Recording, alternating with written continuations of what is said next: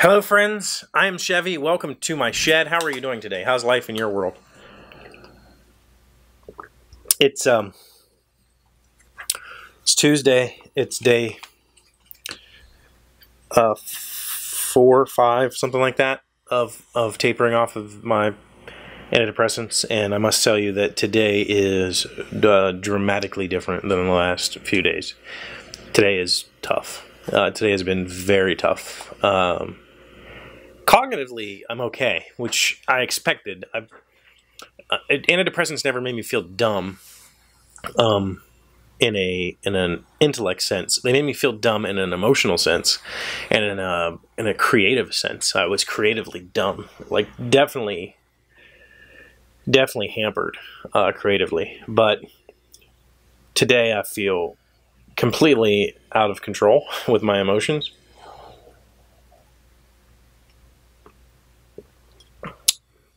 Very tough day. Um, I got good work done today though, so that's good. I'm um, I got uh, we had a couple of good meetings at work today. I got some good code written that I, I value. Um, I did take a little bit of a break at my desk to work on some stuff for Pepahana, which I'm glad to be back on that. I haven't worked on it in a week. Um, so I'm glad to be working on it again. Uh, wrote a new copy and stuff for it, and kind of changed uh, a little bit of. Uh, I made it less uh, open ended. I think. If you haven't checked it out, please uh, visit the link in the description and and at least read the copy for me. And if you have any marketing skills at all, let me know what you think about the about page and the pricing page, and the main page where I kind of describe what the software is. I still feel like I'm not doing a good enough job of that, but I also don't want to inundate a visitor with um, too much information. So for the last few days, I've had this head congestion. This is what I've been calling it. This like just pressure, but it's not really pressure in my head. I would describe it um, if you've ever like gone on a serious sleep deprivation binge. That kind of fuzzy feeling. That's what it is. But I'm not tired. I'm not tired at all. Uh, in fact, I, I didn't sleep very well last night. Apparently, I woke up and there was pillows scattered across the room, and the sheets were all twisted and, and like half off the bed, and so apparently I didn't sleep very well last night. Um, I know I woke up a bunch, and I know I had some crazy dreams, and that I've done a video on that before, and that video is actually very popular on this page, this web. Um, this channel. Didn't I just say I'm not cognitively impaired? Um, that video actually is fairly, um, fairly popular on the channel. I don't know how many views it has now, thirty thousand or something like that. But it gets comments quite often, and uh, lots of people come to share their stories about the crazy dreams that they've had. I've had some crazy dreams uh, last night for sure. I know that I had some that involved people that I hadn't, uh, I haven't seen since I was a kid, stuff like that. So.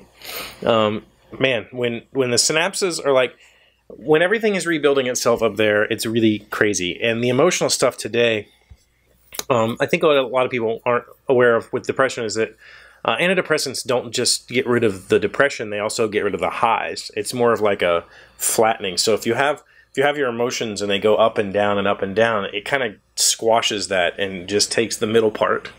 So you lose a lot of the highs um, which is for me i would have uh, previously i would have categorized that as mania. I would have categorized that as like bipolar mania where i just get really excited about stuff. Um, and maybe i'm wrong about that. Maybe I really was just happy and that's what happy is. I'm not sure.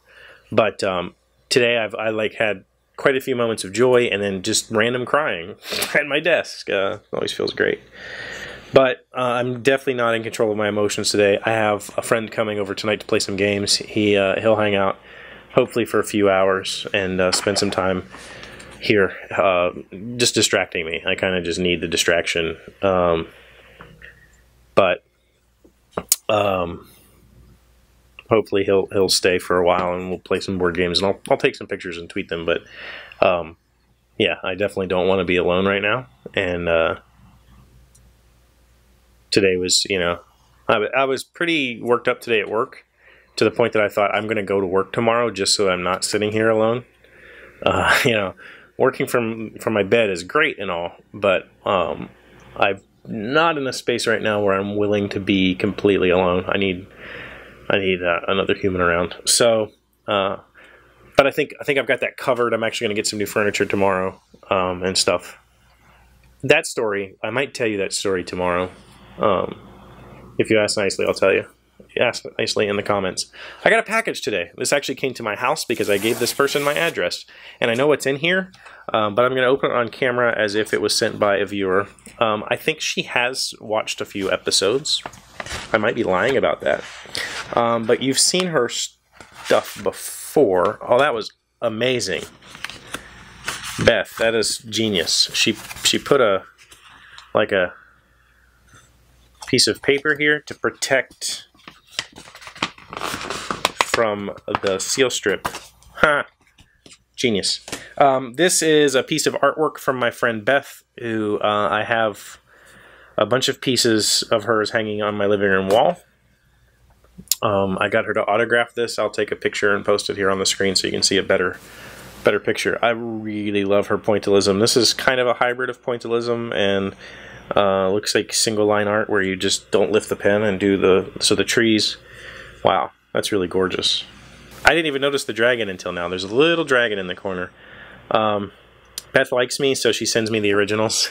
Everybody else gets prints. I get originals. This is amazing, and I can't wait to frame it and hang it. I gotta find just the right place for it, but I think I know a good spot. So I gotta find a good frame or make a good frame for this. Um, definitely going on the wall. And thank you for signing it this time, Beth. Um, that really means a lot to me.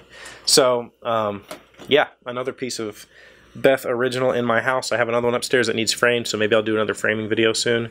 Maybe this time I'll make the frames. I think last time I did a framing video, I bought frames and then showed you how to how to hinge tape them. So uh, maybe this time I'll make some frames. We'll see. That's what I have for now. I'm gonna go get ready for people to show up and hang out, and uh, yeah, I'm okay though. I think. I won't be alone tonight. That's important. Thank you for being here as always. And you know what? I'm not alone because I have you every day. Thank you for that. I really appreciate it. Thank you for coming back. Thank you for making me a part of your life. Thank you for taking time out of your day to uh, reassure me that I'm not crazy.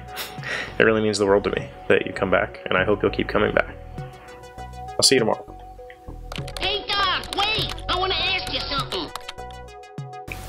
Today's random fact comes from AberdeenQuest.com. Why is Aberdeen called the Granite City? Aberdeen is well known as a granite city. Many of the buildings in Aberdeen are made out of granite. Granite is a hard rock that is often used as a building material. There was once a huge granite quarry in Aberdeen called Rubislaw Quarry.